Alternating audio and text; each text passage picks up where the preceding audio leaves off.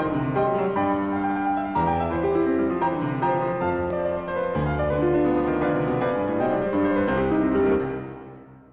Приветствую вас, друзья. Сегодня в главной роли председатель Союза театральных деятелей Республики Татарстан, главный режиссер Татарского академического театра имени Камала Фарид Бекчентаев. Очень рад вас видеть, Фарид. Спасибо, что пришли. Замечательный повод.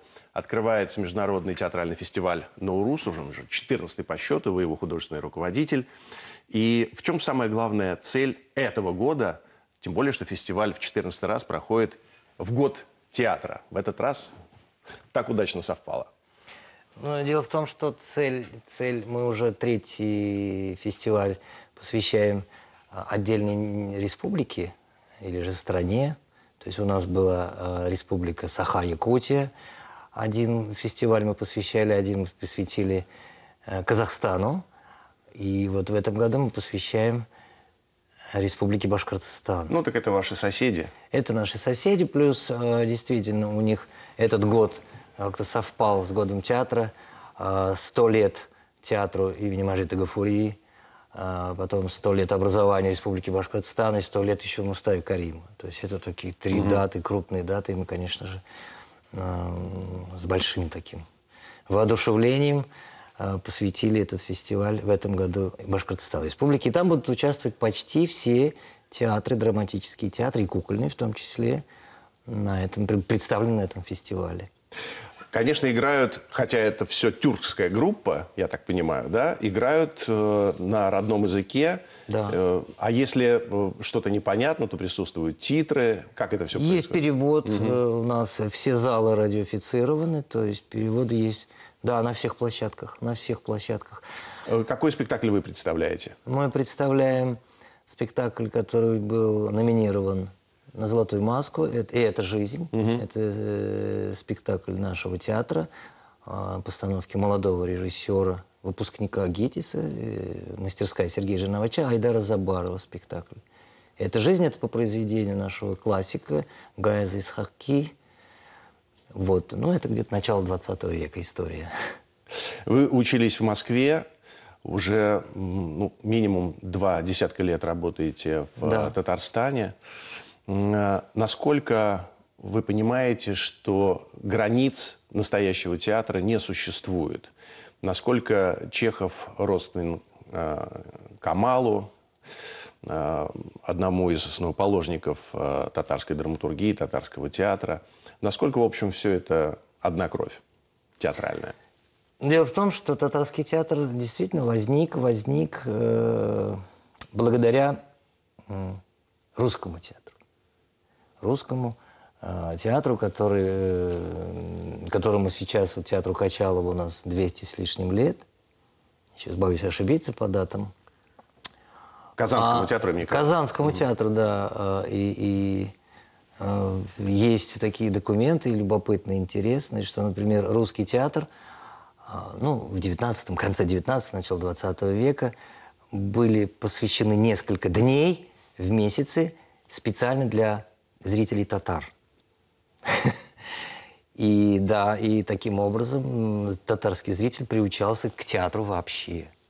Вот. Потом э, вы назвали Галяс Каракамал. Галяс Каракамал э, занимался переводами, и в том числе переводами пьес Островского и Мольера в том mm-hmm. числе. Вот, поэтому это все так взаимосвязано. И, конечно же, и, конечно же, Например, у нас сохранилась, есть телеграмма от Константина Сергеевича Станиславского, нашему театру. Да, реальная телеграмма, она есть. Вот. Ну, то есть это, это такая связь, ну, я не знаю, очень глубокая и, и такая естественная, органичная. Фестиваль носит красивое имя Наурус. Это очень важный праздник. Новый день, да, по сути. Это праздник, символизирующий... Новый год, да. Новый год. Ну, весна, праздник да, весны. Да. Приход весны, обновление. Да. И, э, безусловно, ну, конечно, это хорошее название и очень символичное, потому что каждый фестиваль – это новая программа. А в этом году, а, вот буквально через несколько дней, это 1 июня будет, фестиваль открывается а, Мольером. Да. Да, в очень интересном, я надеюсь, прочтении. Что это будет за спектакль? Мы были в том году приглашены на фестиваль Ноттера э, в Бухаресте. Угу. С директором мы ездили туда и видели живьем этот спектакль. И, конечно же, э, это было очень интересно, потому что поставил спектакль Роман Феодори, угу. наш российский режиссер, очень талантливый человек. И, конечно же, э, сразу же из всех всей программы, которая там была, она была интересная – там было очень много интересного, но, может быть, потому что я очень люблю Мольера, я не знаю, но мне этот спектакль очень понравился. Мы сразу тут же, там же договорились о том, чтобы он приехал на, на ВРУС. А это микс текстов э, да. самого Жана Батиста Поклена? Да, и, там и, и Булгаков, да? да, и микс из, из нескольких пьес Мольера. Вот это история. Ну, очень такой живой, лихой, я бы сказал, спектакль. И действительно, румынские актеры, они очень как-то близки, может быть, даже э, эмоционально нашему театру. То есть это очень такая залихватская игра. В фестивале будут принимать этнические спектакли. Да. Э, не, не, тексты классические, но не светские, скажем так. Ну, вообще на, на, на фестивале «Навруз» в основном это и вызывает огромный интерес. А, потому что, например, э, театры из Якутии, из Тувы, и они открывают фестиваль первого числа, потому что официально открытие второго числа, такой на площади, помпезное, а первого числа приезжают вот они. И э, это действительно и Якутия, и, и, и, и Азербайджан. Это будет очень интересно, мне кажется. Это каждый год интересно. Скажите, пожалуйста, а президент Татарстана приходит э, в ваш театр, он смотрит какие-то премьеры? Хочу сказать, что был юбилейный фестиваль, и он приходил на открытие фестиваля. Они были вместе, сидели с Львом Абрамовичем Додиным, угу. и была замечательная совершенно актриса из Якутского театра Степанида. Вот она пела на улице. И тогда Рустам Нургалевич, президент, как-то очень высоко оценил этот фестиваль и саму как бы самобытность и отдельность этого фестиваля от, от остальных фестивалей. Я почему спросил, потому что я довольно часто бываю в Татарстане, и я ну, вот ощущаю, что искусство и музыкальное, и драматическое, и национальное, народное чувствует себя очень неплохо. Очень Знаете, неплохо. Поддержка очень серьезная. Да, Тут поддержка это, очень это серьезная. Здорово. И есть еще одно слово напрашивается, очень спокойно себя чувствует mm-hmm. вот в этом отношении. Без, без, без нервов. Ваши гастроли по России, в Петербурге, в Москве, как часто они бывают? Хотелось бы чаще или вас все устраивает? Гастрольная деятельность, жизнь театра очень насыщенная, потому что, вот, например, сейчас будет фестиваль в Санкт-Петербурге «Радуга», куда приглашен спектакль спектакль. Также на, параллельно в Уфе идет фестиваль Туванлык. Опять наш театр едет на Олимпиаду, приглашен наш театр в октябре в Санкт-Петербурге. Олимпиада, Международная театральная Олимпиада. Мы едем туда э, со спектаклем. И в Грозном будет фестиваль в сентябре, э, фестиваль Федерации. А также мы туда едем. Это Чеченская республика? Да, в Грозном. И также в, в Бухаресте мы где-то в октябре должны поехать тоже на фестиваль. А, я знаю, что есть э, театры в некоторых странах, где существуют определенные нормы, не позволяющие артистам, например, раздеваться. То есть, ну, сдерживающие факторы – причины которых мы не будем сейчас обсуждать. Насколько в этом смысле свободен ваш театр? И необходимо ли это? Или можно обойтись без, э, так сказать, э, излишних каких-то жестов? Я думаю, что если можно обойтись, то mm-hmm. зачем это делать? Ну, если можно без этого обойтись, зачем это делать? А если нельзя? Ну, тогда надо делать. Надо делать. Но, конечно, есть какие-то а, ограничения, но они не, не внешнего порядка. Я думаю, что они где-то больше сидят внутреннего порядка. Угу. То есть это, это не значит, что вот этого нам нельзя, мы это категорически не принимаем. Это где-то внутри сидит. Современная драматургия российская представлена в вашем театре? Или есть театр Качалова, и это их епархия? Современной драматургией мы занимаемся, стараемся заниматься своей современной угу. драматургией. Сейчас вот в Малом зале готовится сразу три спектакля по пьесам современных драматургов, девушек, женской драматургии. Вот, мы хотим где-то в один день сразу три пьесы сыграть, там в 12, 15 и в 18.00.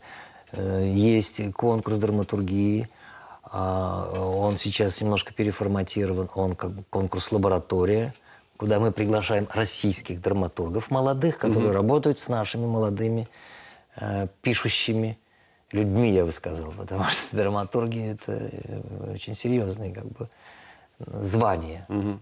Надо его еще заслужить. Да, поэтому да. я, я так сказал, пишущие, пишущие да, да. люди.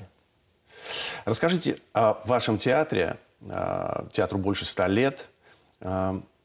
Какая основная проблема, если она существует, и какое самое важное достижение, на ваш взгляд, вот, ну, по крайней мере, за то время, что вы руководите театром?